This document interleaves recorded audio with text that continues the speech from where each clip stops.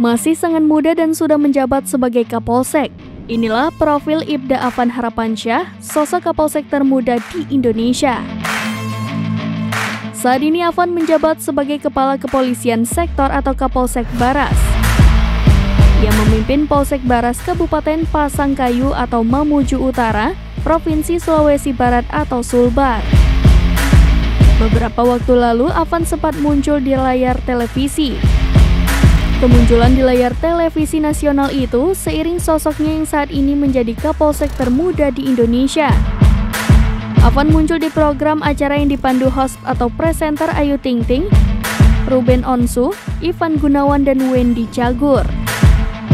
Momen tersebut juga diunggah di akun Instagram pribadinya @avanharapansyah. Berdasarkan penelusuran tribunnews.com pada Rabu 12 Juli 2023, Avan tampak aktif di media sosial. Avan mengunggah sejumlah kegiatan dan foto pribadinya.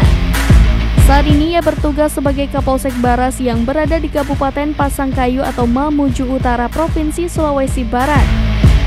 Dalam berkarir sebagai Kapolsek Baras, Avan memiliki 20 penghargaan dalam dinasnya.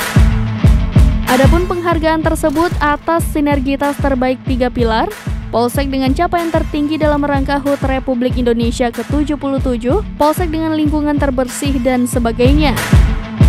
Kemudian kegiatan lain Ibda Afan yakni membuka kelas bahasa Inggris tanpa biaya alias gratis untuk siswa SD sampai SMA.